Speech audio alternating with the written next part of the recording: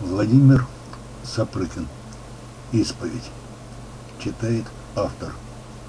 Ждать смиренно не хочу дней, мной прожитых итога.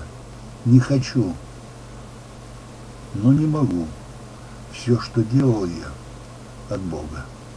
Не святоша я, грешил, но всегда в большом и малом делать вывод не спешил, чтобы жизнь назвать товаром. Покупаем, продаем, иногда совсем за даром. И отчета не даем, без навара или с наваром. Я привык встречать зарю с милой женушкой, как сказку. Новый день я ей дарю, а она любовь и ласку.